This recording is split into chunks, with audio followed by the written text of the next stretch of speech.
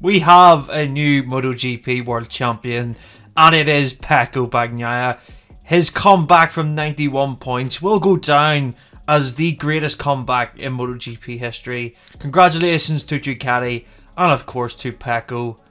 What a race that was. It was a race that was so built up with tension, and we have capped off the Suzuki story with Alex Rins winning for Suzuki in their final race. It's such a sad way. It's bittersweet, really, when you think about it, for Suzuki to win the race, knowing those bikes are so good, but they're not going to be on the grid next season.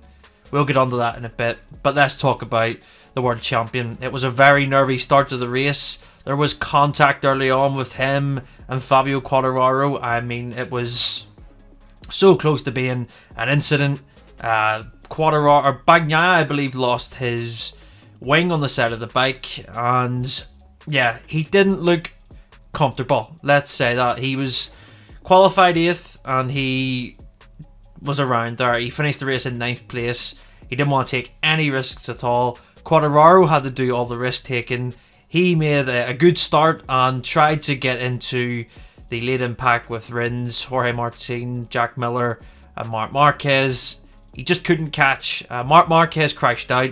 That allowed Quartararo to gain a place into fourth and try and catch the group, but he just didn't have enough. There was the flying Brad Binder who came through and was just sensational in the KTM, finished in second place.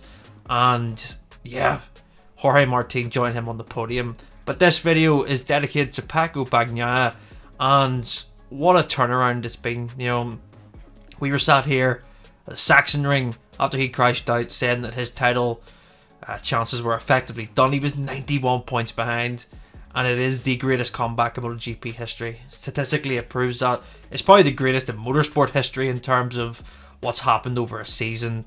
Yeah, Ducati had their first world champion since 2007 with Casey Stoner, and the first Italian to win a world title MotoGP since Valentino Rossi in 2009. It's great for them, and I'm excited to see what we're going to get next year already.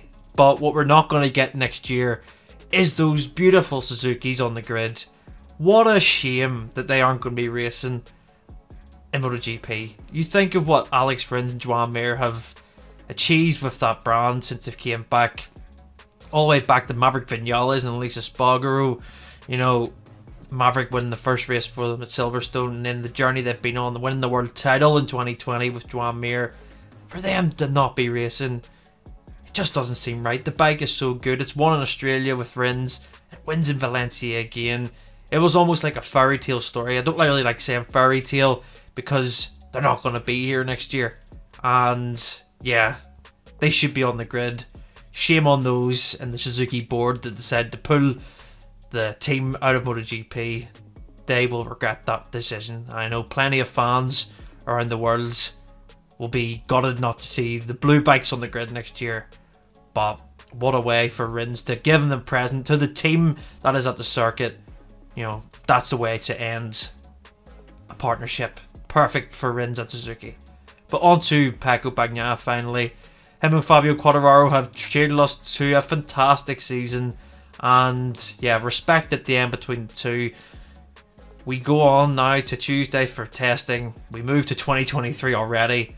But well done to Pecco Bagnaia and Ducati. They do deserve it. They have been the dominant force, especially in the second half of this MotoGP season. Let me know in the comments below what you thought of today's race. Love to hear them. Make sure to subscribe to Crash MotoGP for more content, and I will see you next time.